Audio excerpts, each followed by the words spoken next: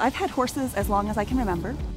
I tried one year after my son was born. I, I, gave up my horses, leased my last one out, and that lasted not a full year before I had to say I, I just have to have to come back to it. I can't, I can't live without it. This is Gulliver. Uh, Gulliver is a 12-year-old trail horse. It was love at first sight. I hope it was for him too absolutely love my time in the saddle with him and, and just, just, time hanging out with him. I try to ride everywhere that I go. So if we travel, I want to ride there. I've ridden in Ireland, Arizona, and Colorado, just a, a whole bunch of different areas, different types of terrain. Uh, actually, this last summer we did a cattle drive, our first one, which was pretty amazing. Of course, my favorite is riding Gulliver right here in Maine. Uh, so I've been involved peripherally with Champion the Cure Challenge, working for the city of Brewer. Um, I've had contacts from time to time when, uh, when the organization was looking for help with logistics types of issues. Um, this year it became personal for me. I developed breast cancer just about a year ago.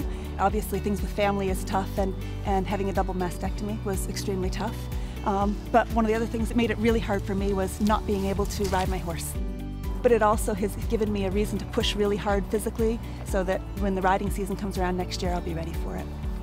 I'm certainly not the only one. I've got lots of friends who've been through it, and some of my riding friends, um, I'd heard their stories in the last few years.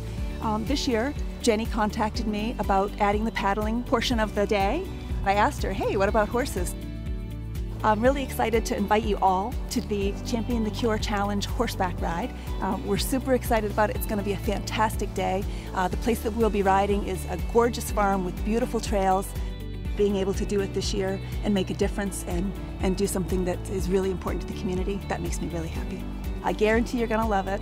And all of what we do there that day, all the money that's raised is going to stay right here in our local community. It's going to make a difference, and I hope you'll be a part of it.